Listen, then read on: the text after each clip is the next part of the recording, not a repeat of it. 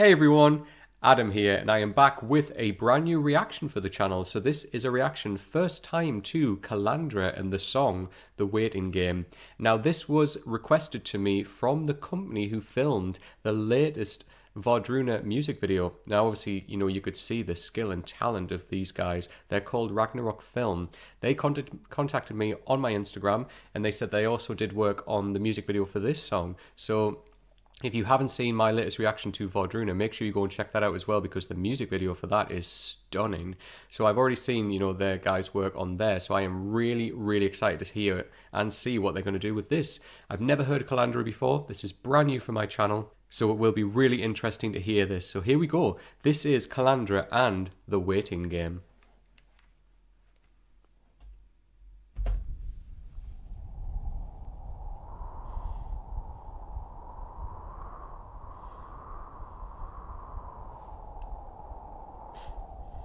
There's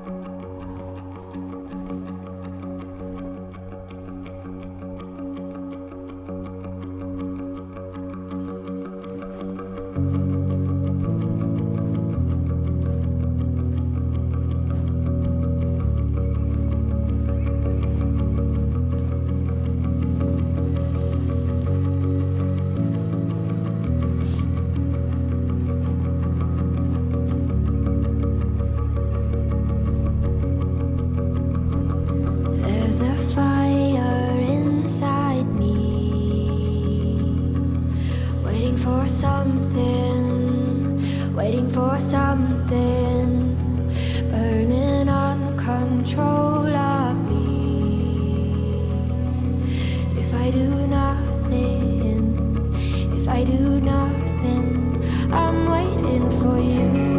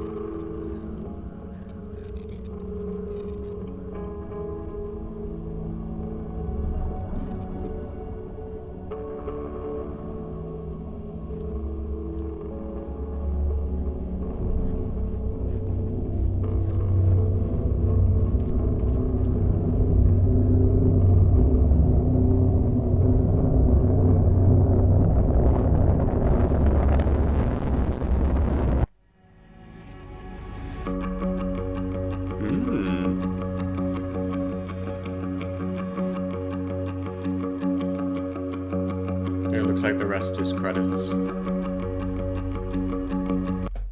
Wow. Oh, wow, that was super, super interesting. So, what I really liked about this, um, I mean, I've never heard Kalandra before. I'm guessing uh, she's just a solo artist, um, singer. I mean, I don't know if Kalandra is like part of a band or if it's just her, but really, really enjoyed the song. Um, it reminded me so much of Aurora.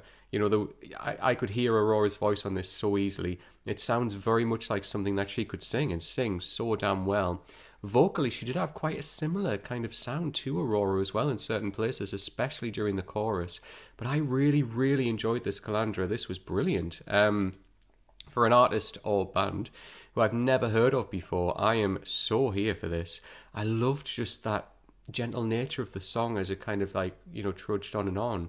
Um, I loved that big build of music, that kind of sound sphere that kind of played towards the end of the song as well. I love that. I love when bands take a moment to just let the music kind of speak. You know, when when the vocal stops and you know that sound just allows itself to really breathe.